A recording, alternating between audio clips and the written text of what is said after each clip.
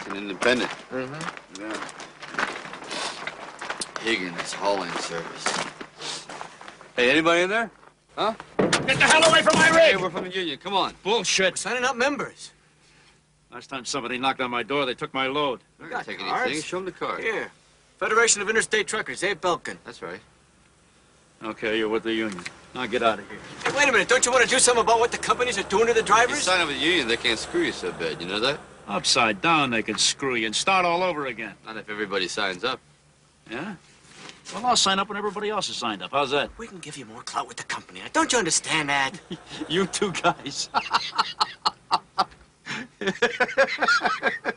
No, the union. yeah, you sure you and Abe here just don't want to collect dues?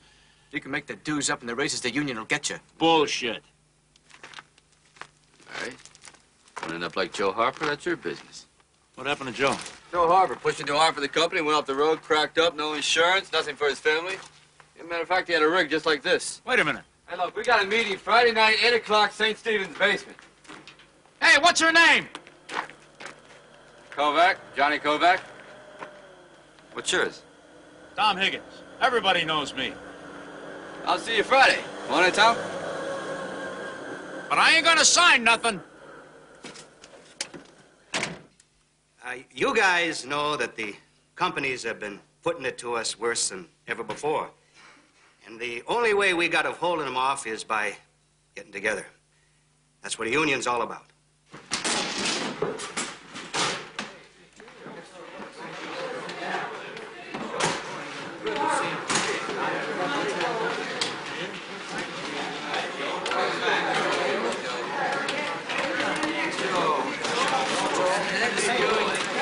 Hi, Joe. How the hell are you?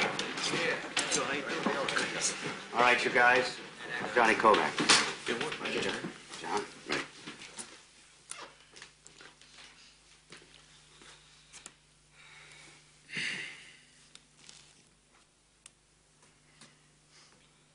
Most of you guys know Joe Harper.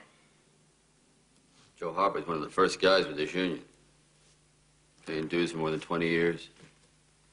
Showing up in meetings. Doing what he was asked. Being a brother. All his life, he run from one place to another to support his family. The only damn the company gave about him was to have him run more and more until he run himself off the road. Now the company don't give a damn at all. But I want to tell you guys something. We ain't asking the company for nothing. Because we're going to take care of Joe. We're taking care of his doctor bills. We're taking care of his family. Because Joe's a good union man. And we're taking care of him and the people he loves. And I'll tell you something else. You join this union, we'll get you money for overtime and doctor bills. And you won't have to kill yourself making a buck, like you're doing now, like my old man did. You join this union to make us strong. It'll make you strong.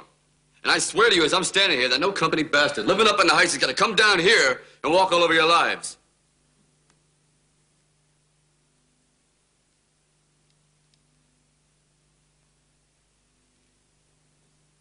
Promise you that. Come on, Joe, let's go.